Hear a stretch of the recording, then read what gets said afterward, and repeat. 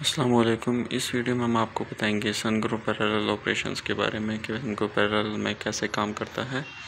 आइए आपको इसके कनेक्शन समझा देते हैं। ये हमारी इनपुट जैसे नॉर्मल सन ग्रोज में होती हैं और ये हमारी आउटपुट के टर्मिनल्स हैं दोनों इन्वर्टर्स के। बस आपने जो देखना होता है वो ज़ीरो एक्सपोर्ट का देखना होता है कि ज़ीरो एक्सपोर्ट के कनेक्शन वगैरह के पैरल कम्युनिकेशन कैसे होती हैं। इनपुट जो है, आप मेन इस ब्रेकर में लाएँगे। मेन ब्रेकर से यहीं से इन उठा के यहाँ ले आना। यहाँ पर। ठीक है, और कम्युनिकेशंस वन थ्री और टू फोर से फिर वन थ्री पे।